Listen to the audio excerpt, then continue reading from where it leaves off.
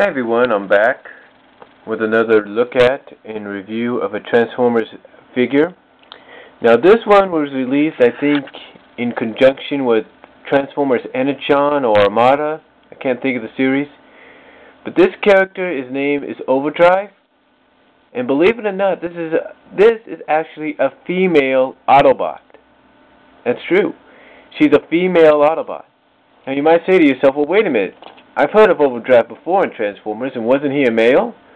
Yeah, he was a male in the original series in, in Toy Line, but this is for Armada. And and apparently they wanted to kind of bring in a female audience, so they brought in female Transformers like like Overdrive here. Now Overdrive, I think lived on a distant planet or something. I'm not really sure about her backstory, but she was a racing car that any if she they had to win races to kind of I think getting I think get certain energons or so I can't really I, I didn't really pay much attention to to the series that she was in, but all I know is that she was there. And I bought this toy, believe it or not, I actually bought this toy at uh, Hastings, at a Hastings store. So, yeah, which was right across the street from me, so I bought her there. Now, I don't know much about her transformation, but I know she is a car. Um, I don't really want to transform her right now because it might be a little difficult, a little confusing perhaps. I'm not really sure how to do it because I haven't transformed her in a long while anyway. So, but this is Overdrive. She's basically an Autobot, like I said. The fe she's the I think one of the only females in the Energon Armada series. I'm not really like I said again. I don't know which series she came out of, but she's basically a leader of where she comes from. Uh, I think she befriends uh, Hotspot or whatever his name, a Hot Streaker or something like that, in in the series. But she, again, essentially she's a leader and she's a race car.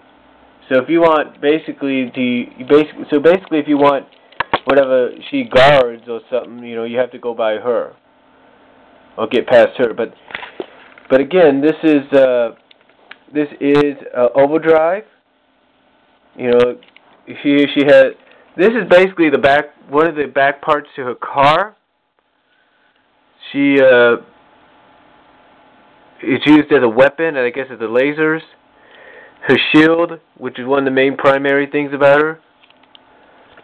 And of course, this is who she is. I don't think, I don't know if you can see her real clearly.